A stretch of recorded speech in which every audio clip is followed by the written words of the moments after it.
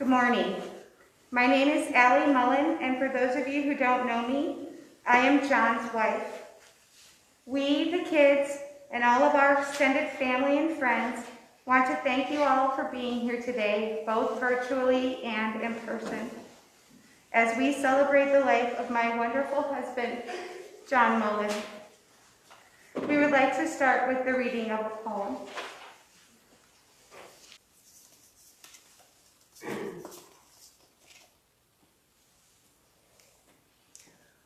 For those who are outside this room, who I may not know, I am Pat Mullen Gum. I am John's aunt.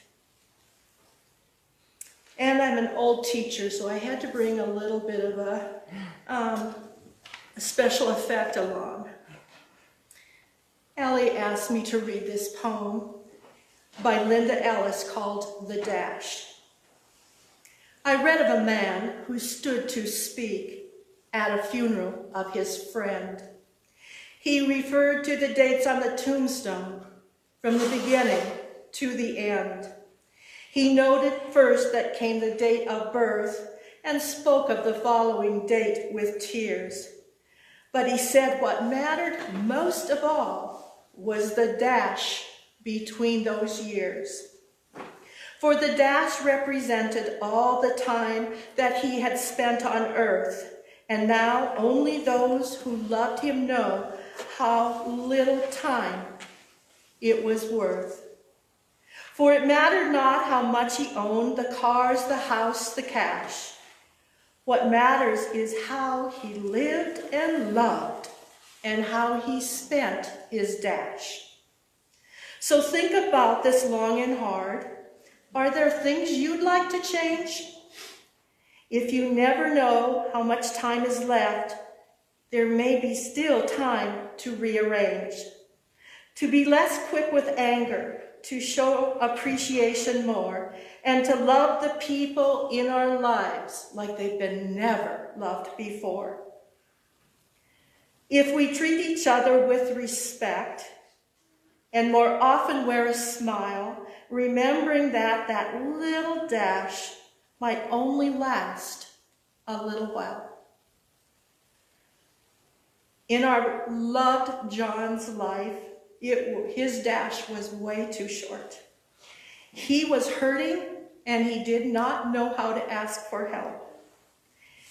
I think that was probably one of the hardest things for John is to ask for any help because he was always there trying to help others. And I think that if we learn one thing, it is if you are hurting, please ask for help. We do not want to have to go to another service like this. Oh, let's talk about that dash. The dash between the markers of John's life tell a beautiful story. John was born to Stephanie and Bob in Sidney, Montana on May 23, 1980. Growing up in Sidney, some of John's favorite things to do were playing hockey with his buddies and taking over the town on their dirt bikes.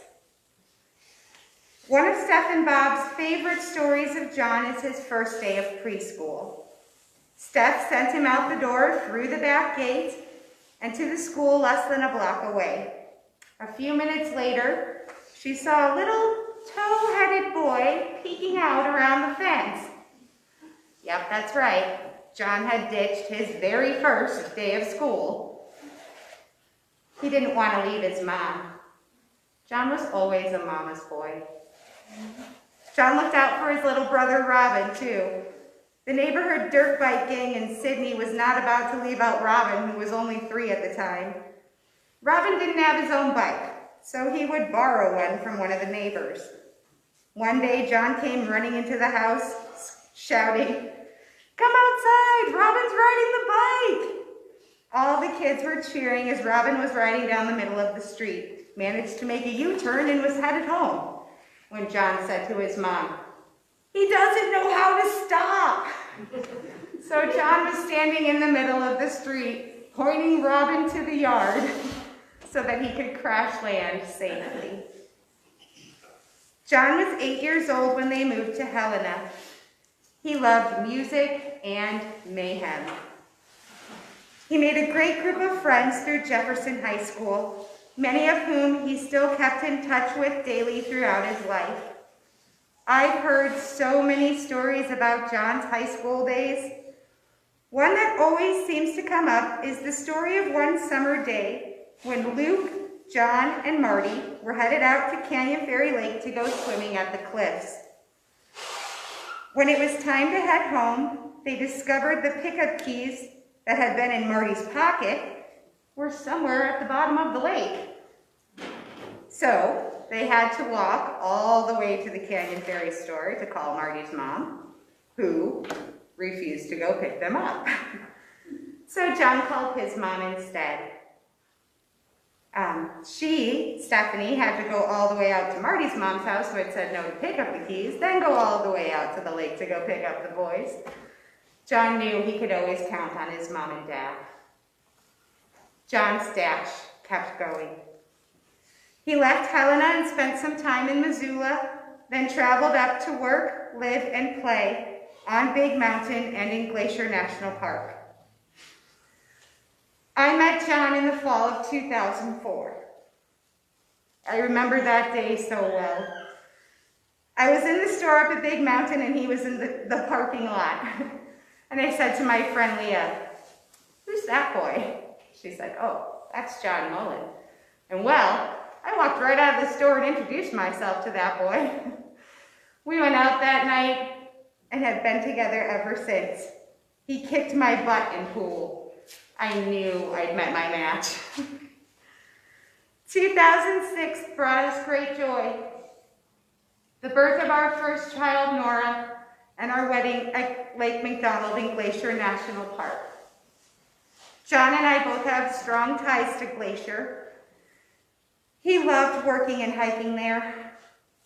John attended Flathead Community College for a while and studied forestry before we moved back to Helena in 2007. His dash continued. John loved being a dad more than anything else in the whole world. He was always so proud of his family, and as it grew, so did he. When Lachlan was born in 2008, John became a loan officer under the wonderful guidance of his mentor and dearest friend, Jim Smith. Jim, if you're listening, thank you. John thrived in his work. When Blake was born in 2010, it was quite clear that he had found so much joy. Like I said, John loved being a dad more than anything else. And although he changed jobs a few times, one thing remained the same, that love for his family. He spent hours setting up the tech for all of his little gamers, and he loved playing with them too. One of my favorite memories are the hoots and hollers from the basement, playing Smash Bros all together and cuddling in for family movie nights. John loved music so much. Anytime he found a new artist or heard a great lyric, he'd share it. John loved going to concerts too. It was probably his favorite thing to do. And yes, he always got the t-shirt. Artists like Atmosphere, Ant, the Beastie Boys, and Eminem, they all got him through so much. And he loved to listen to them loud. One of Kristen's favorite memories was the weekend they spent together at Rock the Bells when Nora was just a baby. They had so much fun. Before COVID hit, we got to see our last show together in February of 2020. It was Atmosphere at the Wilma. We hid kindness rocks outside before the venue, and we actually ran right into Ant.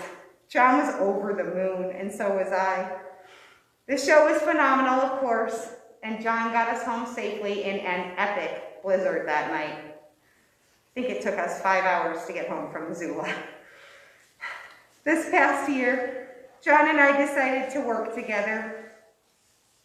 With so much encouragement from him, I got my license and we opened our first office together in 2020. He was so proud of us.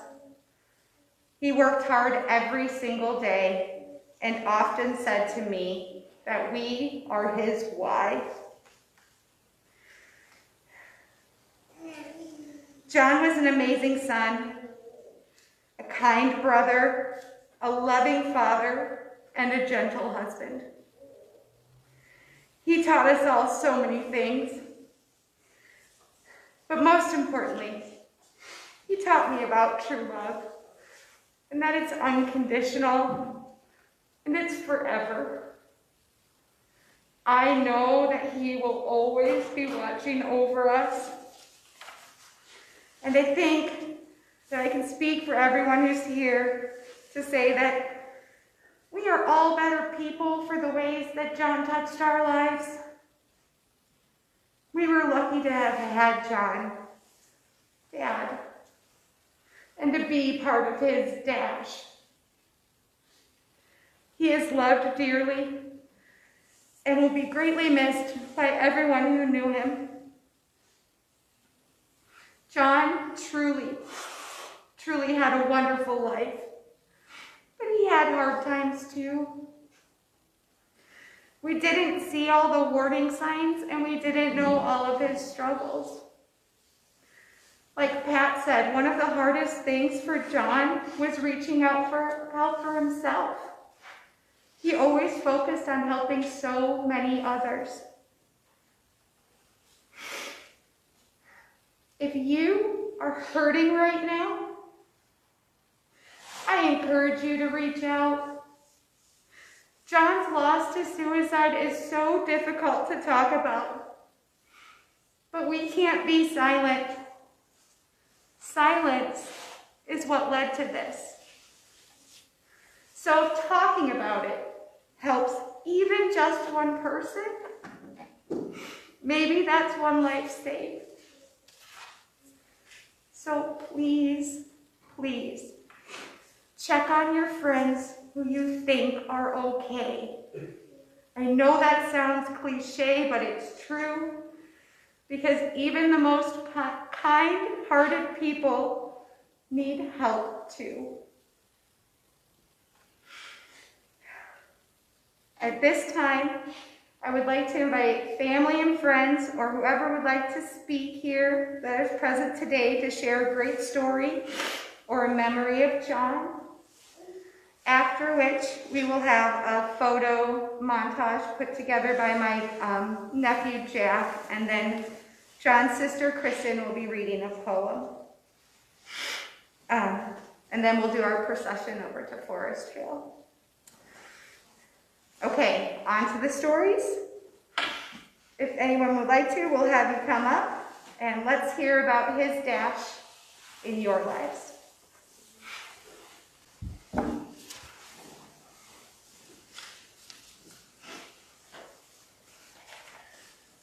Uh, this morning I was hurting a little bit, so I I texted a, a, a friend of ours. His name is David Class. He's a pastor at the Friendship Baptist Church in Montana City. And uh, told him how I was feeling, and, and uh, Dave wrote back. He said, uh, can't imagine the roller coaster that we've all been on the last few days. But he said, but, re, but, re, but be reassured that the Lord understands and is always there to help and comfort. He gave me a few Bible verses, and I'd like to read one from Hebrews 4, 15 through 16. For we do not have a high priest who cannot sympathize with our weaknesses, but was in, but was in all points tempted as we are, yet without sin. Let us therefore come boldly to the throne of grace, and we may obtain mercy and find grace to help in the time of need.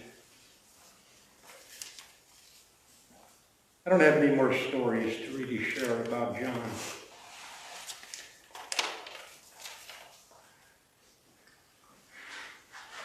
But I do have this to say.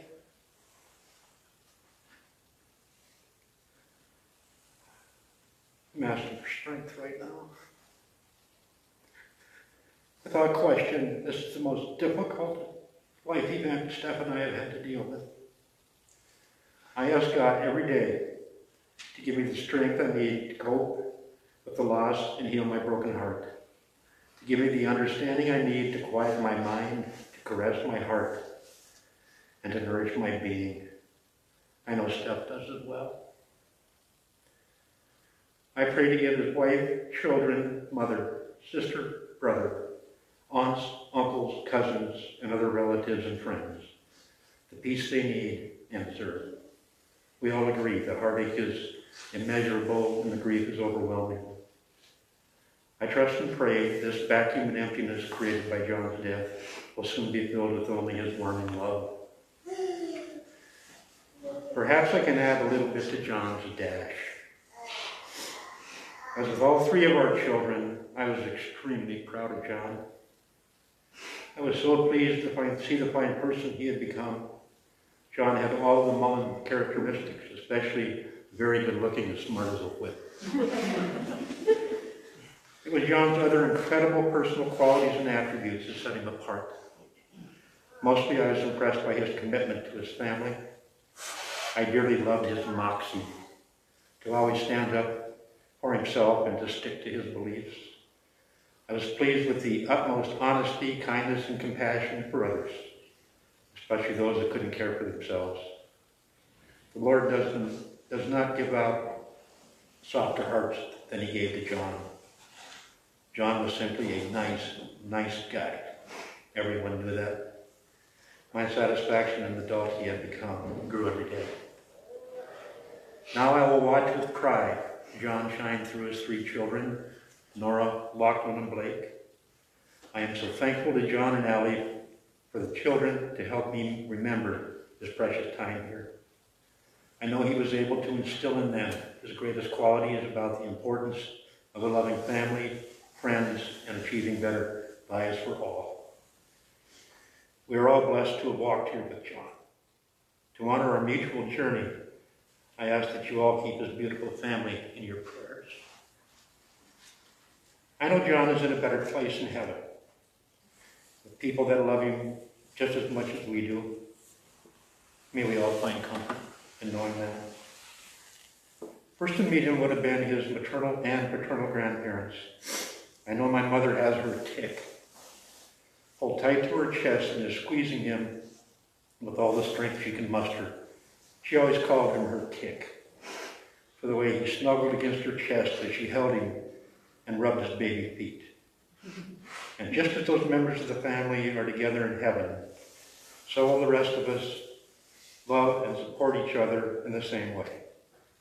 I will always miss you, my son, my friend, my buddy.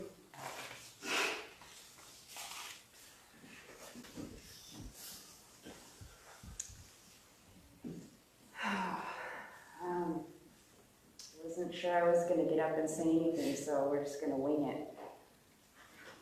Uh, I don't know, I, uh, I've been thinking about, you know, I sort of alluded to this as part of this dash, but man, how much John loved video games.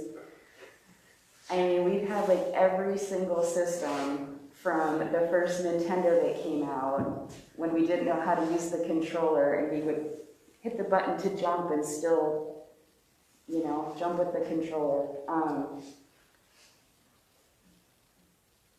you know, it's sort of just mental pictures of these two banana chairs that we had, and we would sit about two feet away from the TV, and then he would have friends come over, and we would all sit down there and try to beat the same level over and over. And I just think about like the teamwork and the cooperation and learning how to deal with like frustration and aggravation and the great big cheers when we would finally beat something and pounding each other on the arm and um, you know we did. We spent a lot of time in the basement just learning how to be how to be what uh, how to be a family i guess. Um, I don't know, so I, I've just been thinking about that, and I've been thinking about all the times that I've been over at his house and seen him instill sort of the same quality in his children, the teamwork and the, coll- I mean, everything is just, it always comes back around and it's kind of a circle. And, uh, you know, happy, how happy I am to have been included in sort of the same childhood that he also has given to his children is the same one that we had, and, um,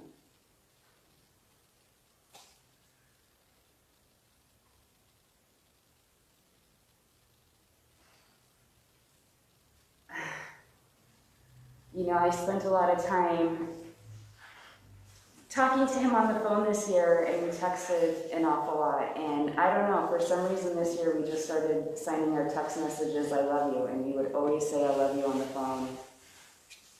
And he would call me and he would text me because he was just delighted by his children. I mean, he thought, like, and you guys are, you're very, very funny. But when something very funny would happen, he would call me or he would text me immediately and say, You're never going to believe what I saw Blake say on Microsoft. I mean, whatever. You're never going to believe the funniest thing like I heard Lachlan say. I mean, and he, he just, he was so good about sharing those moments and he was, he just delighted in you. And, um, yeah, I'm really glad that I got to share those moments with him this year, and um,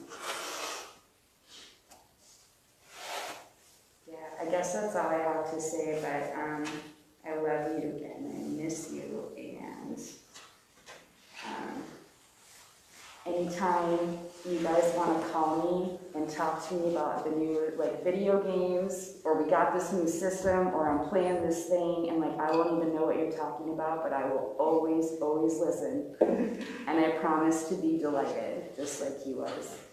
Okay, love you guys.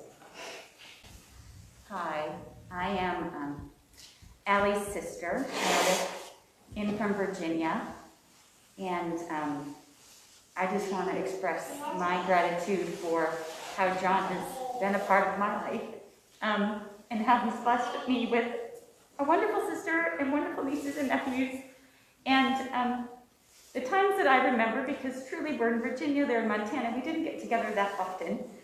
Um, but the times we did were usually large family gatherings. John's rather an introvert. My husband is deaf, um, although an extrovert. Uh, it doesn't always work very well for somebody who can't hear to be in a large group of extended family um, and not know what's going on. But I always appreciated the times when John would take go on the side with my husband and just be able to talk. Um, because, you know, it, when we're getting together on the Blair side of the family, my husband's also the outsider and John was the outsider. So they just kind of felt overwhelmed by extended family and they could sit together and chat. And my husband Paul would tell me all the lovely things that they would talk about. He probably doesn't say the word lovely, though.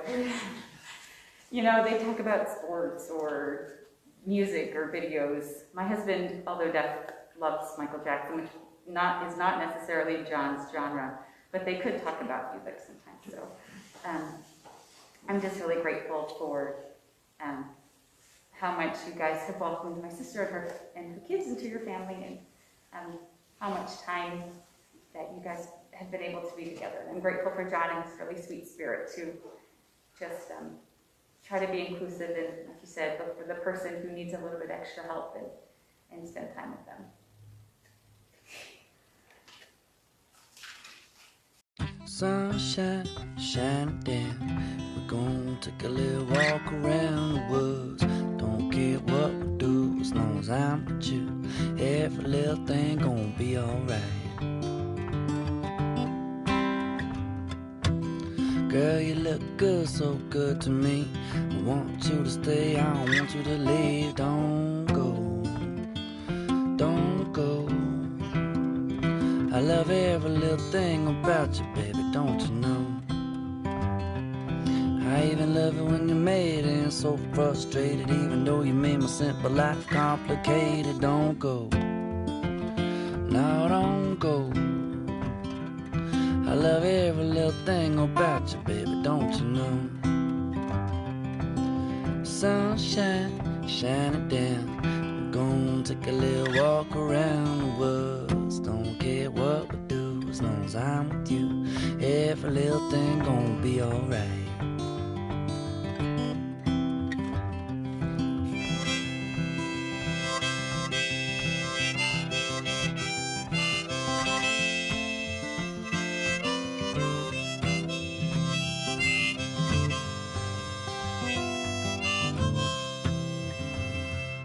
I can't get enough. I wanna eat you up. Wanna have you for dinner, left over for lunch. Don't go. No, don't go. I love every little thing about you, baby, don't you know?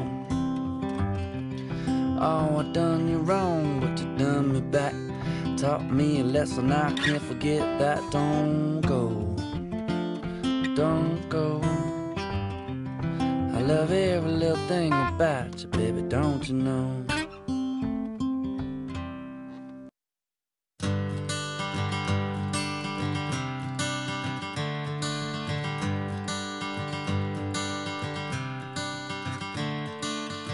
Another turning point, a fork stuck in the road. Time grabs you by the wrist, directs you where to go. So make the best of this test and don't ask why. It's not a question, but a lesson learned in time. It's something unpredictable, but in the end is right. I hope you had the time of your life.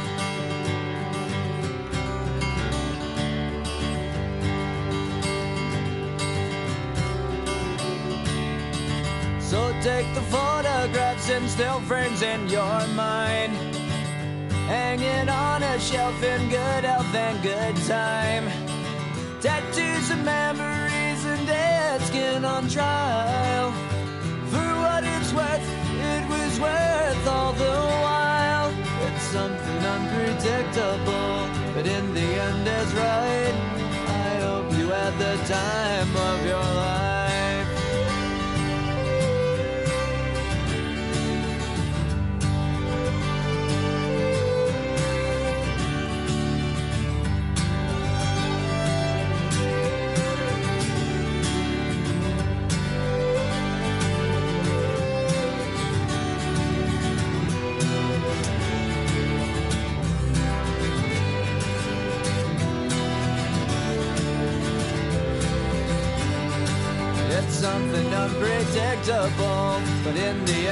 Right.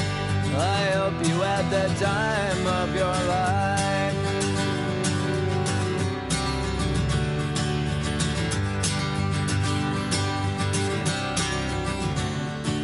It's something unpredictable, but in the end is right. I hope you had the time of your life.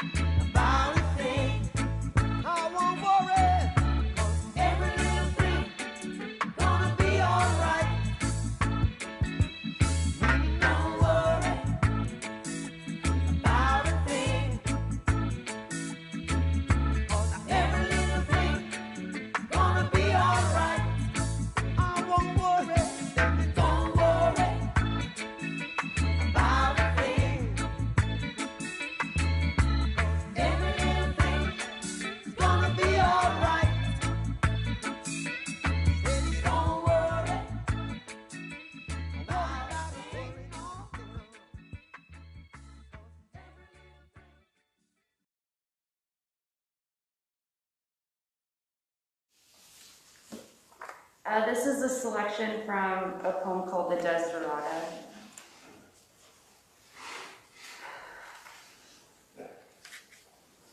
Go placidly amid the noise and the haste, and remember what peace there may be in silence. You are a child of the universe, no less than the trees and the stars. You have a right to be here. And whether or not it is clear to you, no doubt the universe is unfolding as it should. Therefore, be at peace with God, whatever you conceive him to be. And whatever your labors and aspirations, in the noisy confusion of life, keep peace in your soul. With all its sham, drudgery, and broken dreams, it is still a beautiful world.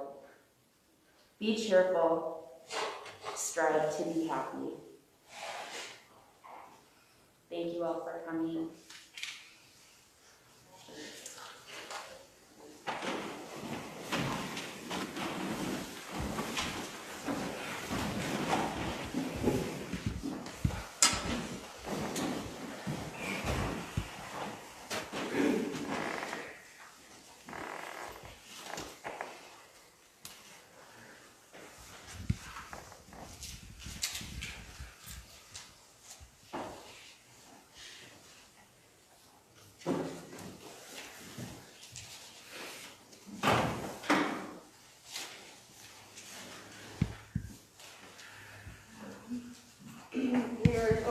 to travel over to Forestville, Summer, and Terry in the processional. It'll take them a few minutes to get situated out there, but we'll line up the cars.